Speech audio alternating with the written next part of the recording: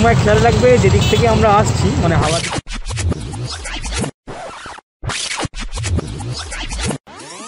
এখন একটা গভীর ঘুম দেওয়ার পালা। কালকে সকালে আবার দেখা যাচ্ছে চলো। গুড নাইট তোমাদেরকে একটা খুব জরুরি কথা এখানে বলে রাখি। এখনও পর্যন্ত মনে হয় কেউ বলেছে বলে মনে হয়নি ইস্কনের ভিতরে যে জরুরি কথাটা।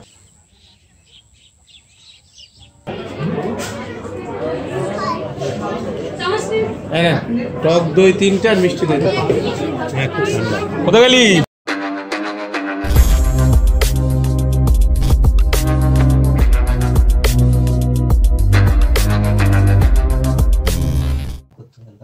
গুড মর্নিং বন্ধুরা। তো ঘুমটা কালকে রাত্রে চাপই হয়েছে, খারাপ কিছু হয়নি। আমার রেডি হচ্ছে এখানে, বাইরে বেরোবে। আমি একটু শুয়ে ল্যাদ খাচ্ছি, একটু বাইরের দিকটা ঘুরে আসি চলো। এই হচ্ছে সিঁড়ি। সিঁড়ি দিয়ে উঠেই ফার্স্ট ফ্লোরে তিন নাম্বার রুম এই হচ্ছে আমাদের রুম রুমটা তোমাদেরকে দেখিয়ে দিই। এই হচ্ছে রুম দুটো বেড আছে, এদিকে একটা বেড এদিকে একটা বেড বাট আমাদের সিঙ্গেল বেডেই হয়ে যাবে। কিন্তু অনেক কষ্টর পর এই রুমটা পেয়েছি। তো রুমটা দেখিয়ে দিই। এই হচ্ছে রুম এখানে এসি আছে, এই একটা ফ্যান এদিকে একটা ফ্যান এখানে টিভি হয়তো ছিল এইটা টিভির ব্যাকেটটা লাগানো আছে টিভি হয়তো খুলে নিয়েছে। আর এদিকে এটা হচ্ছে একটা আয়না আছে আর এই হচ্ছে বাথরুম বাথরুমে আয়না আছে। এই, বাথরুম হ্যাঁ আর বেসিন আছে। তো সব কিছু খুবই পরিষ্কার পরিচ্ছন্নই আছে খুব বেশি যে খারাপ তা নয়। মানে বললে বিশ্বাস হবে কি জানি না সবই প্রভুর কৃপা। আমরা সারা দিন ঘুরে ফেলেছি মানে আড়াইটে থেকে এসে জাস্ট খাওয়া দাওয়া করে আড়াইটা থেকে ঘুরছি রুম খোঁজার জন্য, কিন্তু রুম আমরা পাচ্ছিলাম না। গোটা ইস্কনের ভিতরে, এমনকি ইস্কনের ভিতরে তো পাওয়াই যাবে না। বলল যে পঁচিশে ডিসেম্বর আর ছাব্বিশে ডিসেম্বর, এই দুদিন কোনো রুম পাওয়া যায় না। আগে থেকে বুক করতে হয়। তো তোমরা যদি কোনো অকেশানে আসতে যাও আগে থেকে অবশ্যই রুমটা চেক করবে অনলাইনে ইস্কনের ওই গদা ভবন বা নিত্যানন্দ কুঠির এইগুলো যে আছে সব, ওখানে খুব কম রেটে রুম পাওয়া যায়। গদা ভবনে তো পাঁচশো থেকে শুরু হয়, আর যে কুঠিরগুলো আছে, নিত্যানন্দ কুঠির, গৌরহরি কুঠির, দুশো টাকা থেকেও শুরু। তো আমরা এই রুমটা পেয়েছি, বাইরে আদার্স যেগুলো খুঁজছিলাম, সেগুলো তো প্রায় দেড় হাজার, দু হাজার টাকা করে, কিন্তু এই যে রুমটা পেয়েছি, একদম খুবই অল্প মানে ওর থেকে অনেক কম, ওই যে দেড় দেড় হাজার, দু হাজার বলেছিল, ওর থেকে অনেক কমে ধরে নাও, সবই সবই প্রভুর কৃপা। প্রভুর কৃপা ছাড়া, প্রভুর ইচ্ছা ছাড়া একটা গাছের পাতা পর্যন্ত নড়ে না। আর আমরাও দূরের কথা। তো সারাদিন ঘোরার পরে একটা এত সুন্দর রুম আমাদের প্রভু পাইয়ে দিয়েছে। তার জন্য প্রভুর কাছে আমরা কৃতজ্ঞ। সারা জীবন কৃতজ্ঞ। তো কষ্ট করলেই কেষ্ট মেলে, এমনিতেই কথাতেই আছে, কষ্ট করেছি তাই কেষ্ট মিলেছে। যাই হোক, তোমাদের রুমটা যে কোথায় পেয়েছি আমরা, সেটা একবার দেখিয়ে দিই। তো রুমের বাইরে চলো। বাইরে যাই। এদিকে সব রুম এটা হলো পাঁচতলা বিল্ডিং হোটেলটা হচ্ছে পাঁচতলা। এগুলো সব রুম আছে, দেখতে পাচ্ছ। এখানে অলরেডি ফ্যামিলি আছে। এটাতেও ফ্যামিলি আছে। এই হচ্ছে ব্যালকনি তো কোথায় পেয়েছি রুমটা অ্যাকচুয়ালি দেখো। এইটা ব্যালকনি রুমটা একবার দেখে নাও। সামনের ভিউটা দেখো মেন গেট এইটা। আর এই মন্দির তোমরা দেখতে পাচ্ছ। মেন গেট হচ্ছে এইটা। আর এই মন্দির তোমরা দেখতে পাচ্ছ, একদম সামনে। একদম মন্দিরের সামনে। মানে মানে এটা প্রভুর ইচ্ছা ছাড়া আর কিছুই নয়। প্রভুর ইচ্ছাতে সব কিছু হয়। এটা প্রভুর ইচ্ছা ছাড়া অ্যাকচুয়ালি কিছু নয়। তো দেখালাম তোমাদেরকে সবই চলে এবার বাইরে চলে। কে? গুড মর্নিং সকালবেলা ঘটনাটা হয়েছিল কালকে রাতে। তো কালকে রাতে মন্দিরের উল্টো দিকে একটা ফাঁকা মাঠে বাইকটা রেখেছিলাম। তো বাইকটা রাখার কিছুক্ষণ পরে যখন আনতে গেছি আনতে যাওয়ার পরে দেখছি দুটো চাকাতেই হাওয়া নেই। এমনকি মানে যে ক্যাবগুলো থাকে ভ্যালের যে ক্যাবগুলো সেই ক্যাবগুলোকে খুলে নিয়ে চলে গেছে। মানে এটা ঢ্যামনামো ছাড়া আর কিছু নয়, এসব লোকের যাদের কাজ খুঁজে পায় না, তারা এইসব কাজগুলো করে। তো এই কাকার কাছে এসে আবার হাওয়াটা দিলাম। আর তোমরা দেখো, ভ্যালের ক্যাবগুলোও নেই। এই দেখো। তো ভ্যালের ক্যাবগুলোও খুলে নিয়ে চলে গেছে আর হাওয়াটাও বার করে দিয়েছে। কি, এবারে বাইকটা পুরো সেফটি জায়গায় পার্কিং করে দিয়েছি। অয়নের হার্ডি ডেভিডসন পিছনে দেখতে পাচ্ছ। এটা হচ্ছে ইসকনের নিজস্ব পার্কিং একদম নিজস্ব ইসকনের পার্কিং সোজা চলে গেলে মানে ইসকন মন্দিরটা ঠিক ওই দিকে ওই দিকে দেখো চূড়াটা দেখতে পাচ্ছ কি জানি না। লাইট লাইটের কন্ডিশনে দেখা যাচ্ছে না। তো ইসকন মন্দিরটা টপকে এসেই এটা ডান দিকে পড়বে। লেখা আছে যে ইসকন কার পার্কিং বলে। তো আমরা প্রথমে ভেবেছিলাম কার পার্কিং মানে হয়তো বাইক পার্কিং নয়, তারপর ভিতরে ঢুকে জিজ্ঞাসা করলাম সিকিউরিটিকে বলল হ্যাঁ বাইকও রাখা যায়। তো এখানে বাইকও আছে এই একটা বাইক এইদিকে একটা বাইক আছে। আর আমাদের বাইকটা এখানে রেখে দিয়েছি। তো কুড়ি টাকায় সারাদিন রাখতে পারবে রাত নটা অবধি। সারাদিন বলতে রাত নটা অবধি। মানে সকাল তুমি যখনই ঢোকো সকাল থেকে রাত নটা অবধি কুড়ি টাকা, মাত্র কুড়ি টাকা। তো একদম সেফটি কালকে যেখানে আমরা রেখেছিলাম, একদম ভুলভাল জায়গায় রেখেছি, পুরো মেরে দিয়েছে একদম। তো হাওয়াটা দিয়ে তাও এখন একদম পুরো সেফটি জায়গায় পার্কিং জায়গা করে দিয়েছি। এবার এখান থেকে বেরিয়ে যাব মন্দির পরিক্রমাতে। তো চলো যাওয়া যাক। পার্কিং করতে গেলে গাড়ির নাম্বার বা নিজের একটা পার্সোনাল ফোন নাম্বার বললেও হবে। এখানে দেখতে পাচ্ছ দাদা পুরো একদম কম্পিউটার বিল দিয়ে দেবে। মাত্র কুড়ি টাকাতে অনলি কুড়ি টাকা। রাত নটা পর্যন্ত সময় বেরোতে পারবে রাত নটা পর্যন্ত বেরোতে পারবে ঢুকতে পারবে। তো এই রিসিপ্ট যেটা কাটবে এই রিসিপ্টটা হচ্ছে মাস এটা ছাড়া গাড়ি দেবে না। তো এইটা গাড়ির থেকে বেশি যত্ন করে এইটা রাখতে হবে। মানে এইটার ওপর গাড়িটা নির্ভর করছে। তো এই স্লিপটা। তোমার নাম সমেত এখানে ফোন নাম্বার পুরো রেডি হয়ে আছে আর দেখো এখানে ইসকন ইসকন পার্কিং বলে লেখা আছে। দেখতে পাচ্ছ? তো এইটা যত্ন করে রাখতে হবে। অনেকাই দিলাম, অনেক লাগবে। মন্দির পরিক্রমার আগে আর একটা কাজ আমাদের করতে হবে। সেটা হলো সকালে এখনও কিছু খাওয়া হয়নি। তো খুব জোর খিদে পেয়েছে। আগে খেয়ে নিতে হবে।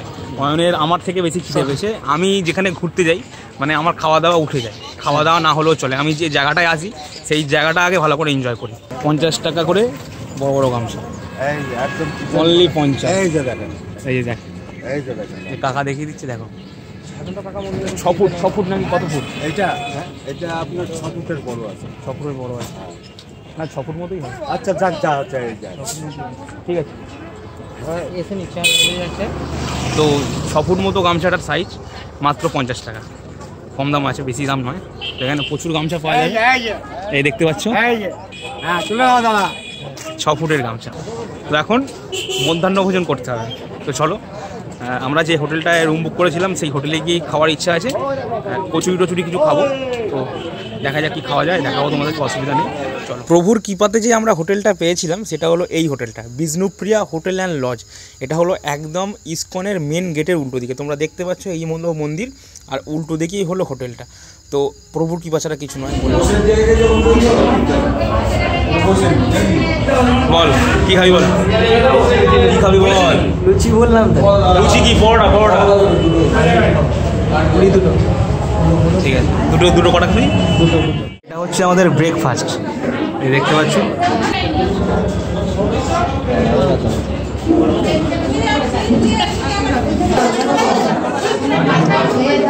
হ্যাঁ একদম সুপার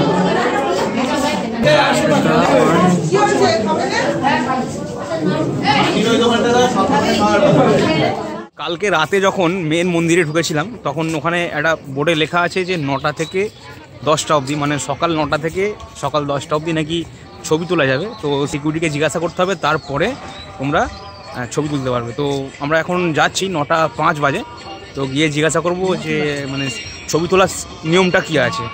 তো সেখানেই যাচ্ছি। এটা যে তোমরা সামনে দেখতে পাচ্ছ, এটা হলো নন স্টপ হরিনাম সংকীর্তন। এখানে কখনো হরিনাম বন্ধ হয় না, সব সময় কোনো না কোনোভাবে হয়ে থাকে।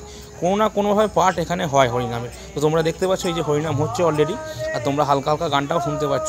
তো কখনোই এখানে হরিনাম বন্ধ হয় না। তো এইটা হলো মেন গেট দিয়ে ঢুকেই বাঁদিকে পড়বে। এটা মেন গেট দিয়ে ঢুকেই বাঁদিকে। মন্দিরটা একবার দেখে নাও, সকালের মন্দির। দর্শন করে নাও একবার। তো এই মন্দিরটা এখনও আন্ডার কনস্ট্রাকশন মানে এখনও চালু হয়নি। দু হাজার বাইশে চালু হওয়ার কথা ছিল, কিন্তু করোনার প্রকোপে আদেও হবে কি না ঠিক নেই। এখনও আন্ডার কনস্ট্রাকশনই আছে।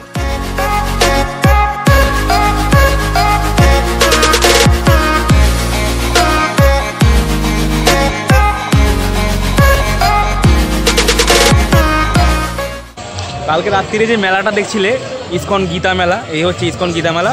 তো এখন সকালে ভিতরে যাব সকালে ভিতরে গিয়ে দেখব যে কী হচ্ছে, না হচ্ছে। এই স্টেজেই সব গানটান হচ্ছিল কালকে রাত্রে। সব বসার চেয়ার ছিল, প্রচুর লোক ছিল।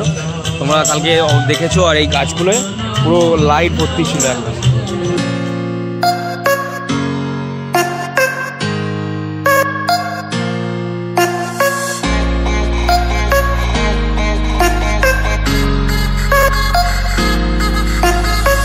এই হলো মেন মন্দির। এখানে মোবাইল নিয়ে যাওয়া দ- নটা থেকে দশটা অবধি অ্যালাও আছে। তো প্রথমে অফিসে গিয়ে কথা বলতে হবে, তো অফিসেই যাচ্ছি। এখানে পারমিশন করাতে হবে মোবাইলের দেখা যাক যে মোবাইলের পারমিশনটা কোথায় হয়। এই হচ্ছে মেন মন্দির। এখানেই আমাদের প্রভু রাধের শ্যাম আছে। মোবাইল এখানে অ্যালাউ নেই, কিন্তু ক্যামেরা অ্যালাউ আছে। তো ক্যামেরাটা ভাগ্যিস ছিল। মানে নিয়ে এসেছিলাম তাই। তো ফোন মোবাইলটা রেখে দিতে হবে জুতোটা খুলে আসতে হবে। আর ক্যামেরাটা নিয়ে যেতে দেবে বলছে। তো চলো ক্যামেরাটা নিয়ে যাই। এগুলো আর আমাকে আলাদা করে বলার দরকার নেই। এগুলো বুঝতেই পারছ তোমরা যে এগুলো মেন মন্দিরের ভিতরের ছবি। তো সব প্রভুরই ছবি দুটো করে তুলেছিলাম। এগুলো তারই মধ্যে একটা করে তোমরা দেখতে পাচ্ছ ক্যামেরাতে তোলা এগুলো। আর ইনি হলেন শ্রীল প্রভুপাত ইসকনের প্রতিষ্ঠাতা। তোমাদেরকে একটা খুব জরুরি কথা এখানে বলে রাখি।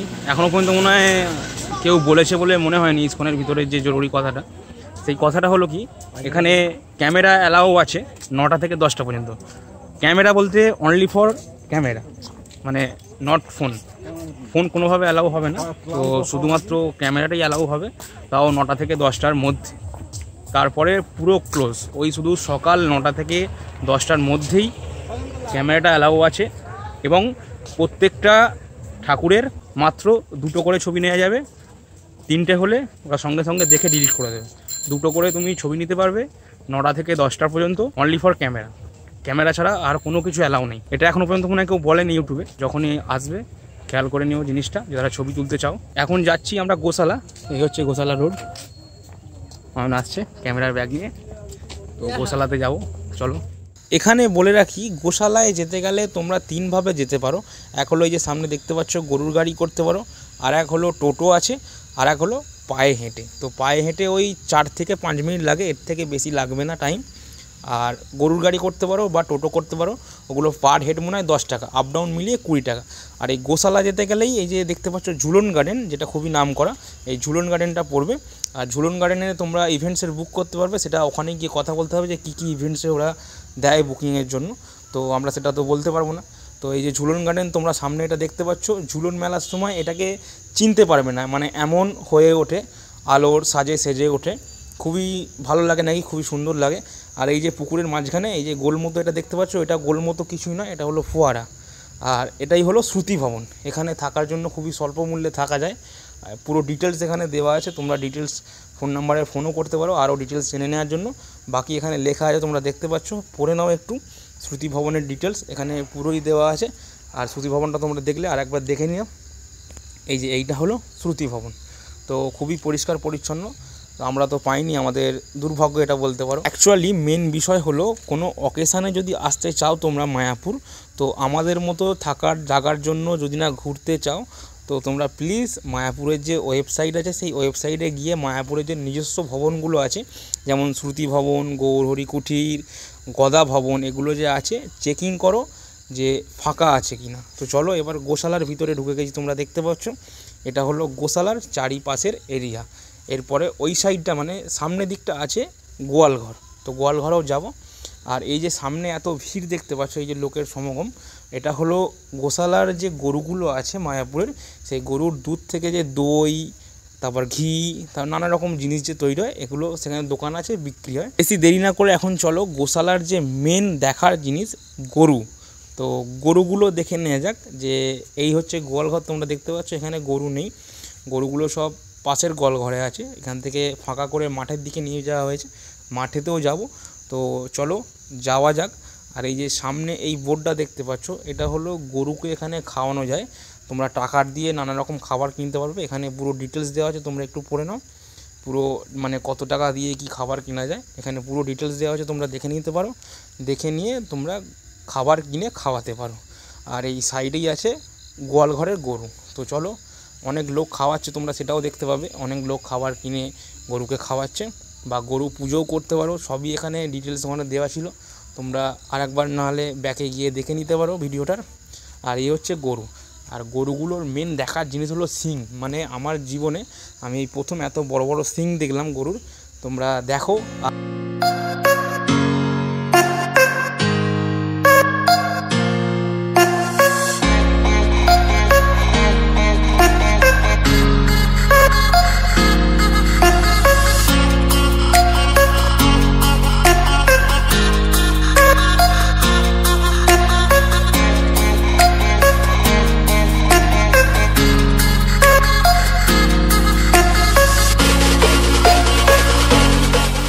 কাল রাতে যে গরুগুলো দেখেছিলে গৌরনীতাইকে নিয়ে গিয়েছিল রথে করে ওগুলোর সামনে। একবার সিংগুলো দেখো খালি। জাস্ট ভাবা যায় না। মানে এরকম সিং আমি আহ, এখনও পর্যন্ত দেখিনি আমার লাইফে ভয়ঙ্কর ভয়ঙ্কর বিভৎস। কিন্তু গরুগুলো খুব শান্ত। কিচ্ছু করছে না। চুপচাপ নিজের মনে ঘুমাচ্ছে খাচ্ছে। দেখো।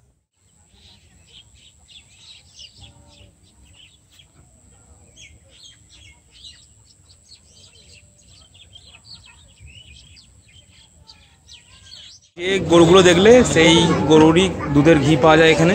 এই যে তোমরা পয়সা দিয়ে কিনতে পারবে।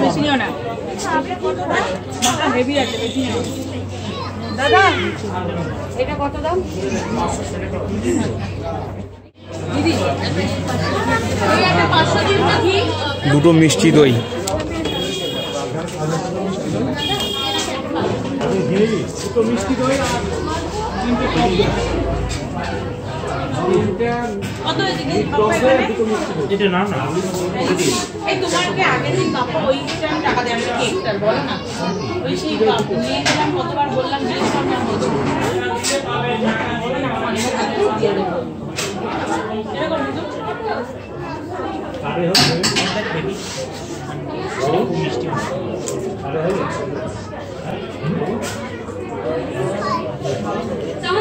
নেন, টক দই তিনটা আর মিষ্টি দই কোথায় গেলি?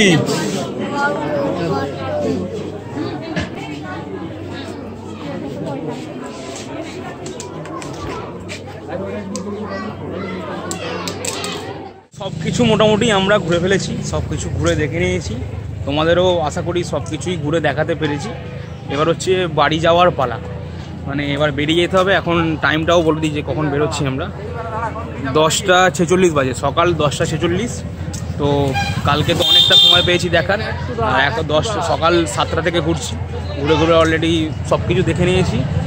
লাস্ট যেটা দেখাচ্ছিল গোশালা, গোশালাতেও গিয়েও সব ঘুরে দেখে নিলাম।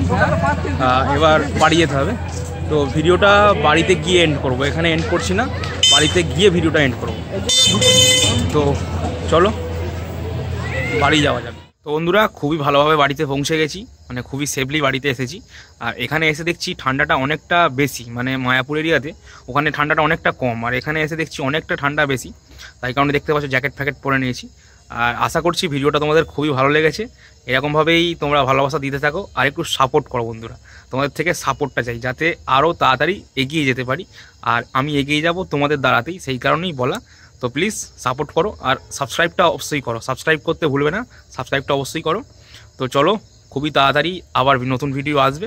তো চলো, tata bye bye good bye খাতাম হুম